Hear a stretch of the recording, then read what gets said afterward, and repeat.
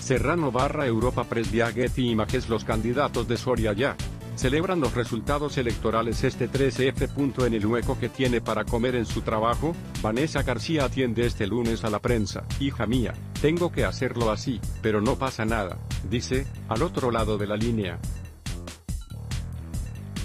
compañeros aún se han pedido vacaciones, pero yo no, así que a tope con todo, resume, hace apenas unas horas, Vanessa García abogada de protección internacional salió elegida procuradora de la Junta de Castilla y León por la provincia de Soria como número 2 de la agrupación de electores Soria Ya. De los cinco escaños que corresponden a esta provincia, Soria Ya, obtuvo tres, sumando un puñado de votos más que Pepe y PSOE juntos. Ha sido la mayor alegría, algo que no te imaginas, reconoce García. Ayer decía, yo siempre veo los escrutinios por la tele. Pero esta vez se decide si yo voy a ser procuradora, comenta, aún incrédula, la número 2. Es algo único, histórico, afirma. Es algo único, histórico Vanessa García, número 2 de Soria ya. Los medios de comunicación utilizaron adjetivos parecidos para describir la gesta de Soria ya este domingo, porque, si el 20 de diciembre de 2021 anunciaban su salto a la política, menos de dos meses después se convertían en la fuerza más votada de la provincia de Soria con el 42% de los votos y resultados aún más espectaculares en la capital, donde más de la mitad del electorado, el 50,3%, los eligió en las urnas. Todos conocíamos Soria ya, no es de ahora la hazaña, sin embargo, no ha sorprendido tanto a los habitantes de esta provincia castellana.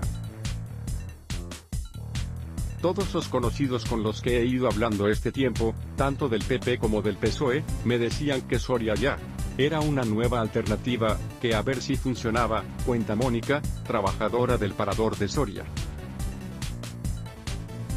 Llevan ya muchos años trabajando en la provincia, y ahora la gente se ha volcado con ellos, dice.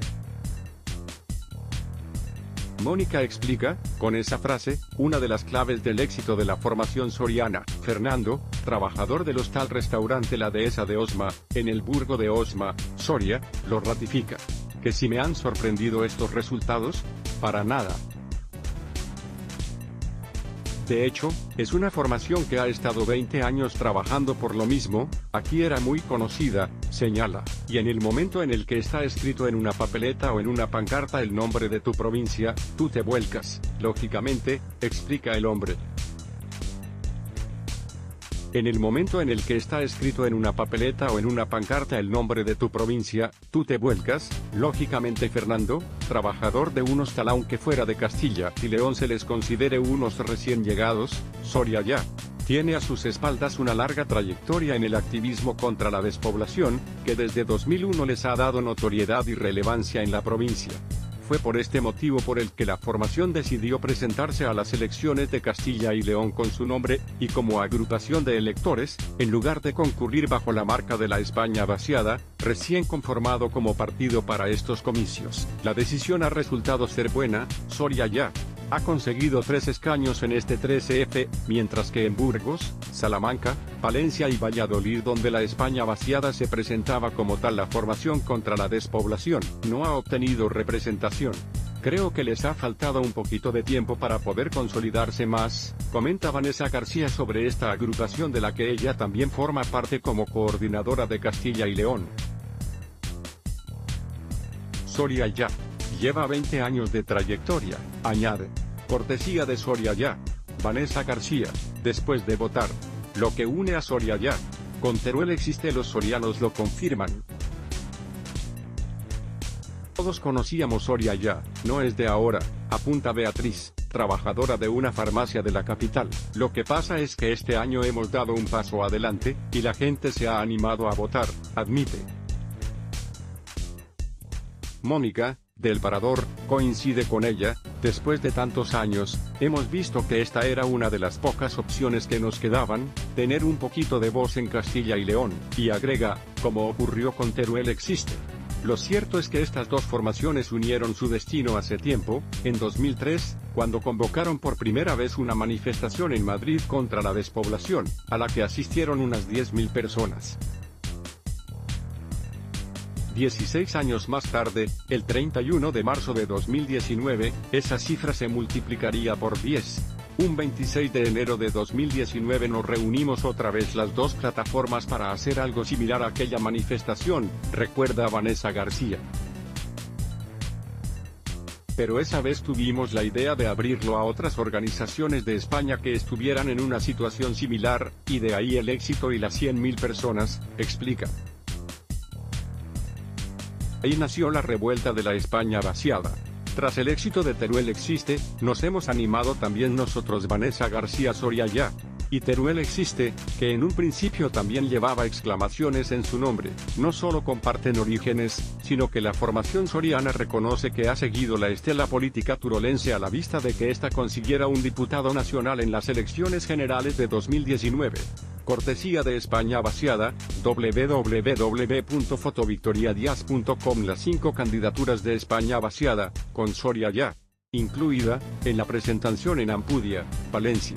Tras el éxito de Teruel existe, nos hemos animado también nosotros, reconoce Vanessa García. Además, creemos que ahora habrá otras provincias, y organizaciones que se unan para lograr lo mismo que nosotros, representación en las instituciones, que es la única oportunidad que nos queda, avisa.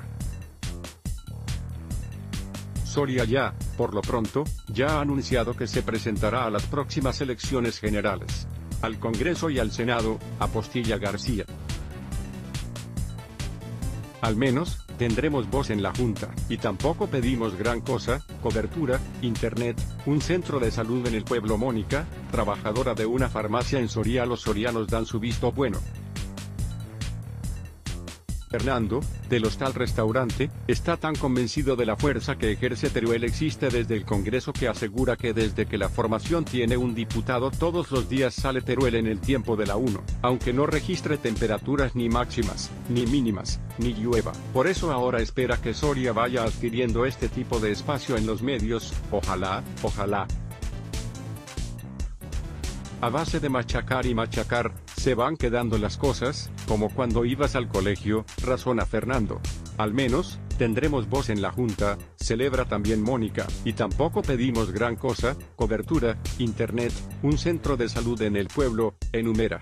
Concha Ortega Oros barra Europa Press Diagetti y Majestomás Guitarte, Teruel existe, y Ángel Seña, Soria ya, tras la banda Gaiteros Aires de Soria en el cierre de campaña de Soria ya, el 11 de febrero. En un incierto panorama de gobernabilidad el PP ha ganado por la mínima y necesita a Vox, que pide la vicepresidencia, Soria ya. Ha puesto una clara línea roja de cara a las posibles negociaciones, el respeto a la Constitución y a los derechos humanos. No vamos a cambiar reivindicaciones por derechos, afirma convencida Vanessa García. ¿De qué hablamos cuando hablamos de despoblación? Soria es la provincia menos poblada de toda España, con algo más de 88.000 habitantes, y una densidad de aproximadamente 8 personas por kilómetro cuadrado por debajo de 10. Se considera desierto demográfico. Como demuestra el siguiente mapa realizado por la investigadora Pilar Burillo, toda la provincia entra dentro de un área muy escasamente poblada conocida como Serranía Celtibérica, de la que también forman parte Teruel y Cuenca. Pilar Burillo áreas escasamente pobladas de España. La despoblación en Soria comenzó en los años 40 del siglo pasado. Entonces, la provincia tenía unos 165.000 habitantes, que ahora se reducen a casi la mitad aunque el grueso de esa pérdida se produjo entre los 50 y los 70. Con la llegada de la democracia la provincia siguió restando población. En los últimos 20 años, Soria ha reducido un 3% sus habitantes. De sus 183 municipios, solo 11 tienen más de 1000 habitantes, y solo Almazán, el Burgo de Osma y la capital superan los 5.000. Las cuentas a futuro también dan negativo, según cifras del INE de 2018 anteriores a la pandemia, cuando las muertes se dispararon y la natalidad se congeló en toda España, en la provincia de Soria nacieron 606 niños y murieron 1.155 personas, casi el doble. En 2018, en la provincia de Soria nacieron 606 niños y murieron 1.155 personas. Partimos de que la natalidad es un problema general, no solamente en esta provincia, admite Vanessa García. Pero si a eso le unimos la población envejecida que hay en Soria, donde la gran mayoría de ciudadanos tiene más de 65 años, y si a eso le añadimos que con 18 años tienes que irte fuera a estudiar, todo eso agrava la despoblación, resume la número 2 de Soria ya. Cuando nos preguntan cuál es la fórmula mágica para combatir la despoblación, siempre decimos que no es solo una medida, sino un puzzle que va desde tener la posibilidad de formarse en Soria, poder trabajar, tener una buena sanidad, enumera García. Son muchas las soluciones que tiene la despoblación, Zanja. ¿Por qué una fiscalidad diferenciada, entre otras cosas entre sus reivindicaciones, Soria ya? Pide una fiscalidad diferenciada para Soria, Cuenca y Teruel, porque ya lo ha autorizado la Unión Europea, y ahora solo es cuestión de que el gobierno lo aplique, puntualiza García. Desde 2021, la UE reconoce estas tres provincias como las únicas NATS 3, unidades estadísticas territoriales, de España con densidades inferiores a 12,5 habitantes por kilómetro cuadrado, explica Pilar Burillo, investigadora del Instituto de Investigación y Desarrollo Rural Serranía Celtibérica. Con ello, Europa insta al gobierno a que considere estos territorios como susceptibles de beneficiarse de ayudas a empresas para compensar las desventajas de la despoblación, como ya se hace en la Islas Canarias por su insularidad o en otros territorios europeos. C. Serrano barra Europa Press Viagetti y Majes los sorianos celebran los resultados electorales de Soria ya. Están volviendo a caer en el olvido institucional, lamenta Vanessa García, quien cree que precisamente esa dejadez administrativa es lo que ha hartado a los sorianos, y los ha llevado a escoger la papeleta de Soria ya. Eso, y las muchas manifestaciones, reivindicaciones y acciones de la plataforma en estas dos últimas décadas. Han sido 20 años muy aprovechados, describe. Hasta ahora, casi todos los ayuntamientos de la provincia tenían en su fachada nuestra pancarta de Soria quiere futuro, relata la procuradora electa. Pero desde que anunciamos que nos presentamos a las elecciones autonómicas, todos la quitaron, añade. Hasta ahora, casi todos los ayuntamientos de la provincia tenían en su fachada nuestra pancarta de Soria quiere futuro. Cuando anunciamos que nos presentamos, la quitaron Vanessa García Fernando, del Hostal del Burgo de Osma, recuerda a la plataforma por sus manifestaciones. Por ejemplo, cuando suspendían las obras de alguna autovía, ahí los tenías, a Soria ya, en la travesía de algún pueblo intentando luchar, cuenta.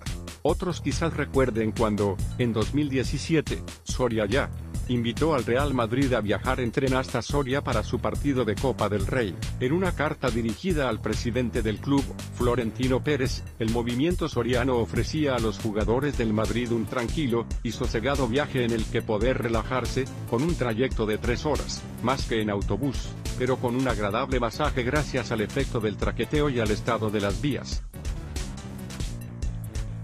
Al final, el equipo no se animó, pero aún están a tiempo de probarlo. Photo Gallery Las fotos más llamativas de las elecciones de Castilla y León. CE Gallery Las fotos más llamativas de las elecciones de Castilla y León. Adblock Test,